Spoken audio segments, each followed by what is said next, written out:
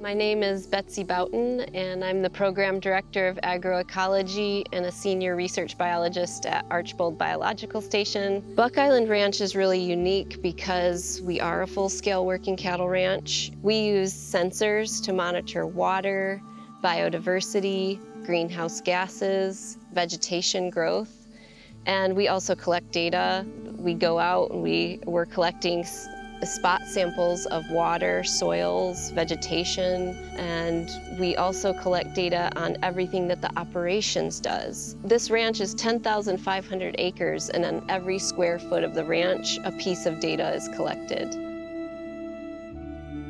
The human dimension side of agriculture is really important because ultimately humans make decisions about what happens on the land. But we want to understand the consequences of those decisions. We don't want the research to change the ranch so that it's no longer representative of other ranches.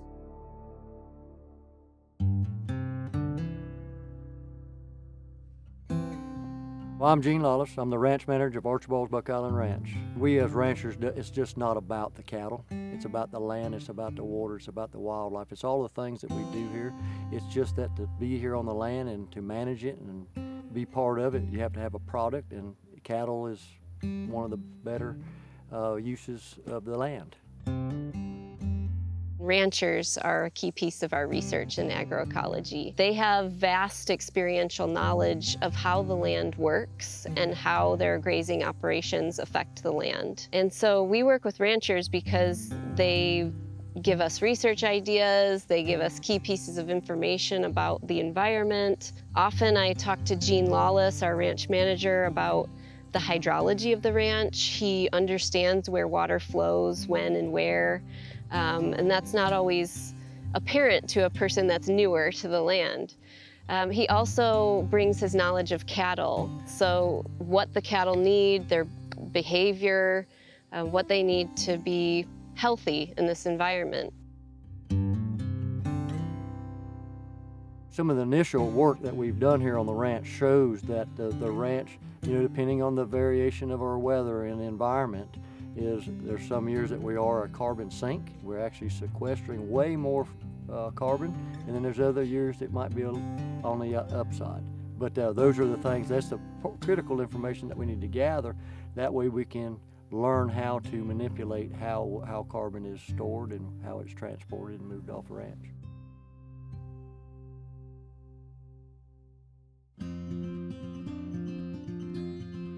In 2010, we started to study carbon, and our question at that time was, is the ranch a sink or source of carbon? We had a lot of questions. And so the first thing that we did was work with the University of Florida on looking at our emissions from our operations. And we took 10 years of our, our economic data and looked at all of the operations and what were the carbon emissions of those operations. And we found that on average over that 10 years, our emissions are about 11,000 metric tons of CO2 equivalents. Now the other side of the equation is how much does our land uptake and how do our practices affect that? Alltech has Alltech ECO2, which has a large amount of expertise in modeling the life cycle of the cattle operations. And we were able to provide all of our long-term operations and economic data to ECO2 to model our emissions.